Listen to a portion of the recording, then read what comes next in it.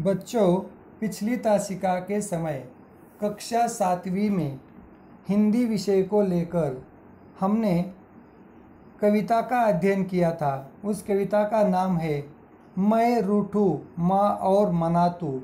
इस कविता का अध्ययन करने के बाद, इस कविता के पन्ना नंबर चालीस पर काव्य बोध रूपी प्रश्न है। इन प्रश्नों को हम क्या करेंगे? सुनेंगे। जैसे काव्य बोध के अंतर्गत इन प्रश्नों के जवाब मैं आपको सुनाता हूँ। काव्य बोध के अंतर्गत मौखिक और लिखित दो प्रकार के प्रश्न है। इनमें से पहले हम मौखिक प्रश्नों का अध्ययन करेंगे। जैसे, इन प्रश्नों के उत्तर दे आंसर दिस क्वेश्चंस मौखिक प्रश्नों में पहला प्रश्न, उपप्रश्न क। माँ शब्द सुनकर। माँ क्यों दौड़ पड़ी? माँ शब्द सुनकर। माँ इसलिए दौड़ पड़ी अपने बच्चे की। हर्ष ध्वनि सुनकर। सुनी कुटिया में बैठी माँ अपने बच्चे को लेने के लिए दौड़ पड़ी। माँ शब्द सुनकर, माँ क्यों दौड़ पड़ी? अपनी कुटिया में बैठी माँ, अपने बच्चे की हर्ष ध्वनि किलकारी सुनकर अपने बच्चे को प्यार से लेने के लिए दौड़ पड़ी।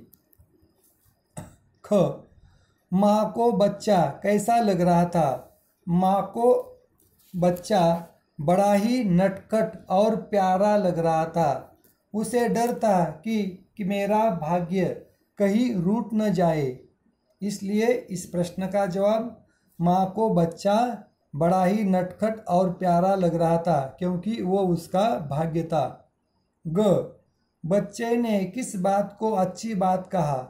तो बच्चों ने इस बात को अच्छी बात कहा। वो कहता था, कितनी अच्छी बात है, जैसे मैं रूठू माँ और मना तू कितनी अच्छी बात कही है माँ तूने। बच्चे ने किस बात को अच्छी बात कहा? बच्चे ने, मैं रूठू माँ और मना तो कितनी अच्छी बात कही है, इस बात को बहुत अच्छा कहा। इस भाव की पंक्तियाँ कविता से पढ़े।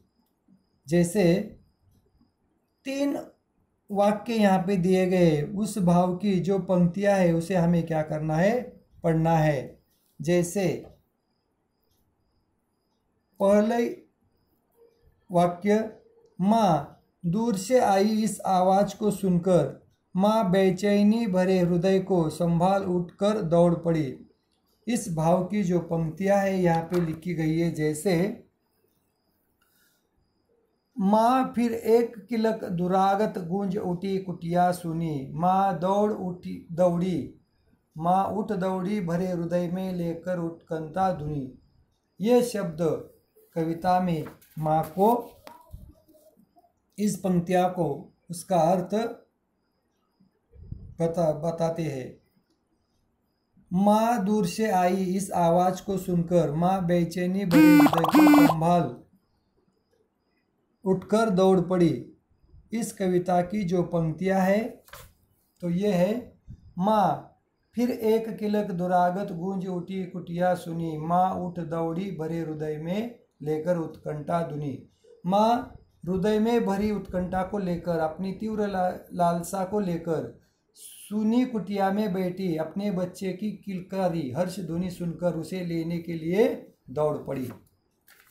उसके बाद माथे पर घुंघराले केश बिखरे मिट्टी से भरी दो बाहें माँ से लिपट गई। माथे पर घुंघराले केश बिखरे, मिट्टी से भरी दो बाहें माँ से लिपट गई। जैसे यहाँ पे दिया गया है, वो कहती है, लुटरी खुली अलक रज धूसर बाहें आकर लिपट गई। निशा तापसी की जलने को धधक उठी बुझती धुनी जैसे माथे पर गुंगराले केस बिखरे हुए। मिट्टी से भरी दो बाहें माँ से लिपट गई। अपने बच्चे की मस्तक पर लुटरी खुली अलग रज रजधूसर बाहें आकर लिपट गई। निशा तापसी की जलने को धधक उठी बुस्ती धुनी। अपने खेलते हुए बच्चे के रजधूसर बाहें को लेकर वो लिपट गई। साथ में उसने अपने बच्चे के मस्तक पर लुटरी खुली अलग, यानी पलकों को पीछे सरकाया और अपने इस नन्हे बच्चे को, नटखट बच्चे को रात्रि के समय वो क्या करती है? अपने नज़दीक लेकर बैठती है और प्यार से उसके मास्ते पर हाथ रखकर कहती है, निशा तापसी की जलने को ददक उठी, बुझती धुनी। उदास मन वाली उस तपस्विनी का हृदय ममता से भर उठा। अपने उदास चेहरे को लेकर जब माँ कुटिया में अपने बच्चे की राह देखते हुए बैठती है, उसी समय अपने बच्चे की किलकारी हर्ष ध्वनि आवाज़ उसके कानों पर आती है। उस वक्त अपनी माँ प्यार से उस बच्चे को अपने गोद में लेते हुए रात्रि के समय सोती है और अपने बच्चे के सिर पर हाथ फेरती है। लुटरी खुली अलक रजधूसर भाई आकर लिपट गई निशा तापसी की जलने को। ददक उठी बुस्ती ध्वनि। इस तरह से हम इस भाव की पंक्तियाँ कविता से पढ़ सकते हैं, उसका अर्थ बता सकते हैं। क, ख, ग, घ के बाद ड। मना शब्द का प्रयोग कविता में दो विभिन्न अर्थों में आया है। दोनों पंक्तियों, पंक्तियाँ पढ़े और अर्थ बताए। मना शब्द कविता की दोनों पंक्तियों में आया है, जैसे, माँ अपने, माँ से कहता है, कितनी अच्छी बात कही है माँ तूने, मैं रूठू और मना तू कितनी अच्छी बात कही। ले मैं सोता हूँ, अब जाकर बोलूँगा मैं आज नहीं। और कहता है, पके फलों से पेट भरा नींद नहीं खुलने वाली। अब हे माँ, मुझे तुम नींद से जगाने का चुंबन लेकर सप्रसन्न मुझे जगाने का प्रयत्न करे। और मैं इसे मानूँगा नहीं, ये बात वो अपनी माँ से कहता है मना शब्द का प्रयोग कविता में दो भिन्न अर्थों में आया है। दोनों पंक्तियाँ पढ़े और अर्थ बताए। मना शब्द इस कविता के दोनों पंक्तियों में आया है। जैसे कवि कहते हैं, जयशंकर प्रसाद, मैं रूठू माँ और मना तू, कितनी अच्छी बात कही है माँ तूने। मैं रूठू और मना तू। उसके बाद दूसरा, दूसरी कविता के पंक्तियाँ जैसे, माँ, फिर एक किलक दुरागत गूंज उठी कुटिया सुनी। माँ उठ दौड़ी भरे हृदय में लेकर उत्कंठा दूनी। अपने बच्चे को लेकर माँ क्या करती, बड़ी ही चिंतित होती है, क्योंकि वो पिता का भाग्य है। अपने पिता का वो प्रतिनिधि कर रहा है। इसलिए मैं डरती हूँ तू रूट न जाए। करती कैसे तुझे मना मैं? अपने पति का प्रतिनिधि है तू। अरे पिता के प्रतिनिधि, तूने भी सुख दुख तो दिया घना। तूने भी तो अपने पिता के प्रतिनिधि की तरह सुख दुख दिया है। और मैं डरती हूँ तू रूट न जाए। करती कैसे तुझे मना? क्योंकि तुझसे मैं डरती हूँ कि तू एक बार रूट गया तो तुझे मनाना मुझे कठिन हो जाएगा। इसलिए वो कहती है, अरे पिता के प्रतिनिधि, तूने भी सुख दुख तो दिया घना। मैं डरती तू रूट न जाए, करती कैसे तुझे मना? यानी माँ भी अपने प्यारे बच्चे से डरती है कि उसे रूटने नहीं देती है। ये एक बार यदि वो बेटा रूट जाता है तो जल्दी मनाया उसे नहीं जा सकता। और वो बच्चा कहता है मैं रूटू माँ मना तो कितनी अच्छी बात है। इस कविता को कंठस्थ करके कक्षा में सुनाए। इस कविता को कंठस्थ करवा के आपको कक्षा में क्या करना है, दूसरों को सुनाना है। अब लिखित प्रश्नों की ओर हम बढ़ेंगे। जैसे, बालक के लौट आने पर माँ को कैसा लगा? बालक के लौट आने पर माँ को अपना नटखट बच्चा आने के बाद बहुत ही अच्छा लगा। माँ प्रसन्न हो गई, श्रद्धा माँ प्रसन्न हो गई। माँ ने पुत्र से क्या कहा? माँ ने पुत्र से क...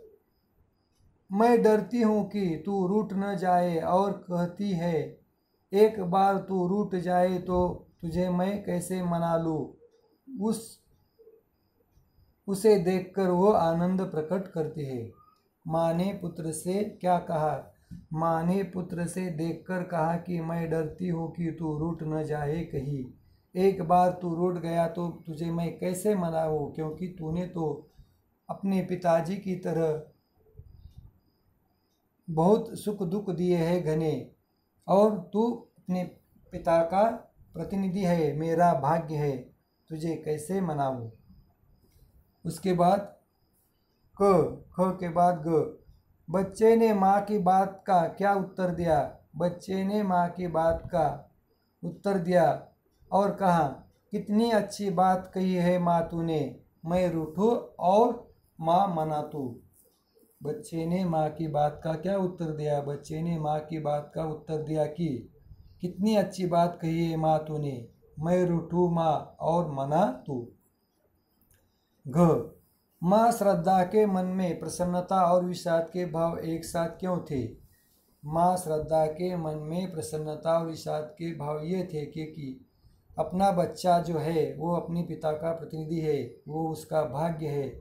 और इस भाग्य को मैं कैसे मना करती? क्योंकि एक बार ये रुट गया तो इसे मैं कैसे मनाऊँ?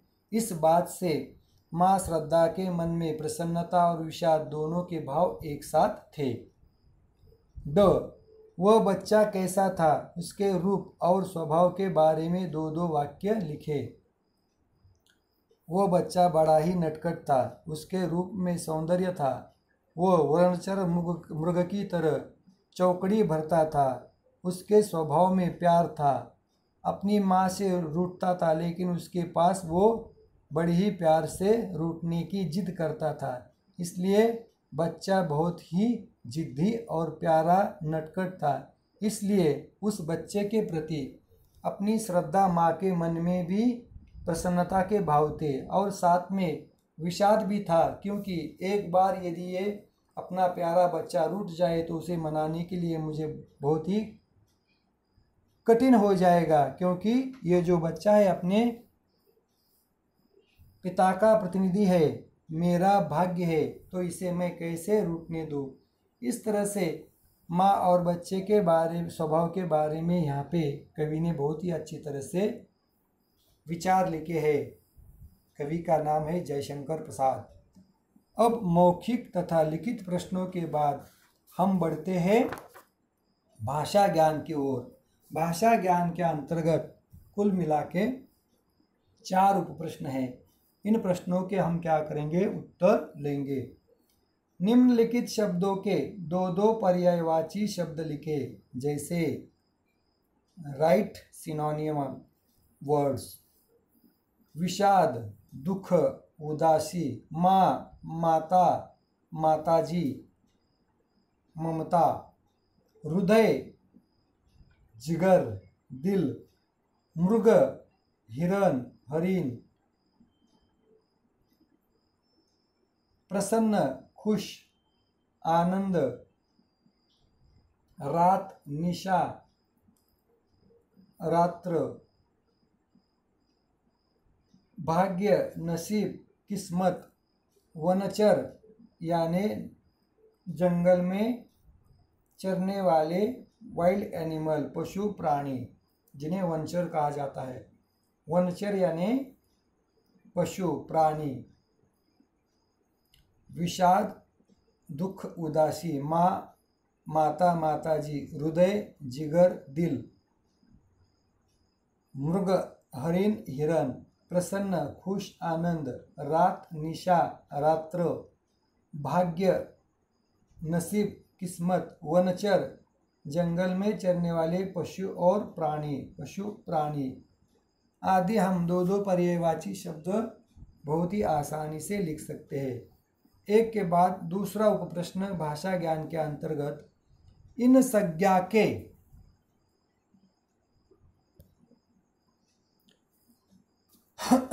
इन संज्ञा के,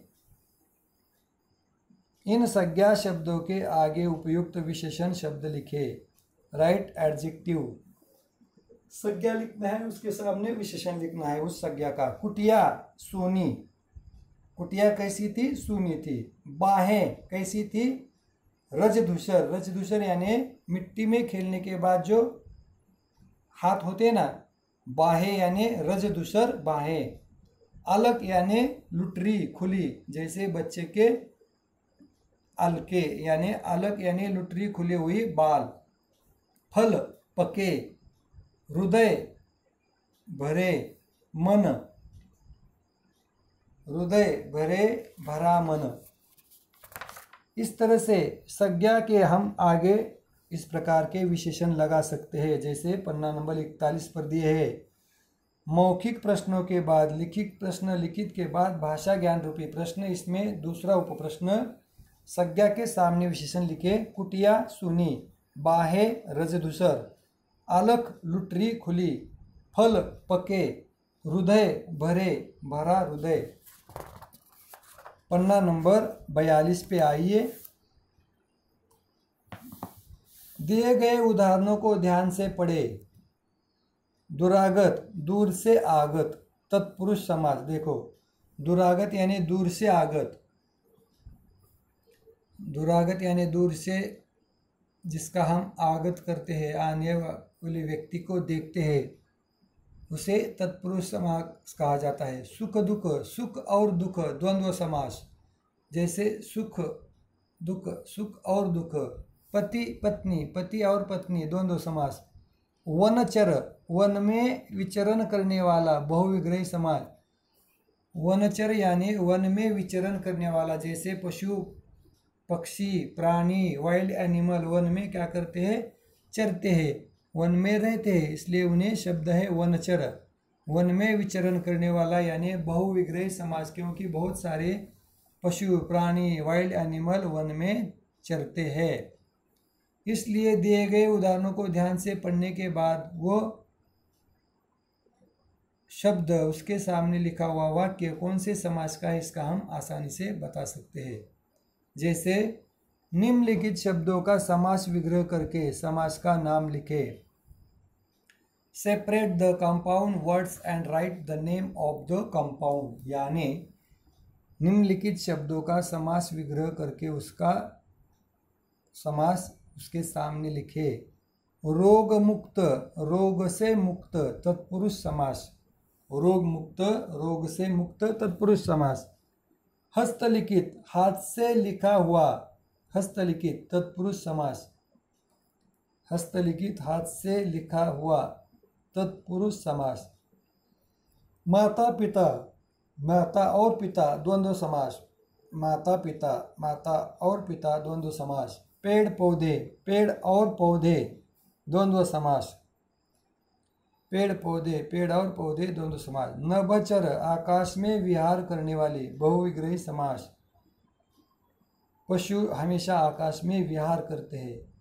नभचर आकाश में विहार करने वाले बहुविग्रही समास जलचर पानी में रहने वाले बहुविग्रही समास इस तरह से उस शब्दों के ऊपर से उदाहरण देकर हम उसका अर्थ भी लिख सकते हैं, उसके समाज भी अच्छी तरह से बता सकते हैं। जैसे रोग मुक्त रोग से मुक्त, तत्पुरुष समास हस्तलिखित हाथ से लिखा हुआ तत्पुरुष समास।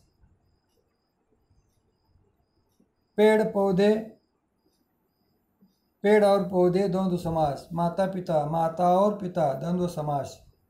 नभचर, नभ में विहार करने वाले, आकाश में विहार करने वाले, बहुविग्रही समास। जलचर, पानी में रहने वाले, बहुविग्रही समाज बहुविग्रही समाज इसलिए कि नभ में, आकाश में तरह तरह के पक्षी विहार करते हैं, घूमते हैं। जलचर यानी पानी में तरह तरह के छोटे छोटे जीव जंतु रहते हैं, इसे बहुविग्रही समाज कहते हैं। इस तरह से पन्ना नंबर बयालीस पर जो भाषा ज्ञान रूपी प्रश्न दिए गए, उसका अध्ययन हमने किया है।